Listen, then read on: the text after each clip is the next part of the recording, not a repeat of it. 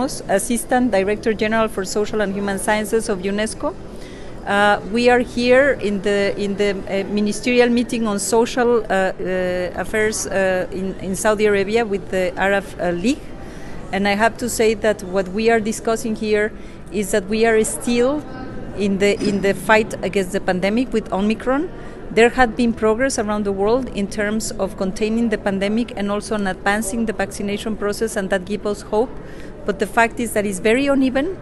The pace of vaccination in some countries is very high, like in Egypt, but some other countries in the region are not really reaching the point where we can say that everybody is protected. So what we are saying here is continue with the vaccination, continue inform, informing the society why they need to vaccinate.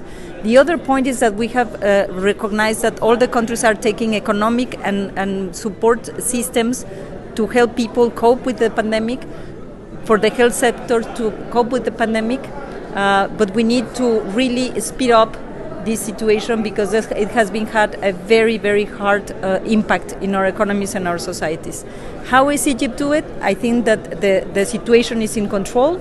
I think that, the, that they have taken the right decision in terms of supporting the people, and we are here with the, uh, with the with the continuation of the vaccine process and also with the support systems for those that are more affected we will be able to get out of this crisis in a better shape. So thank you so yes. much. Thank you.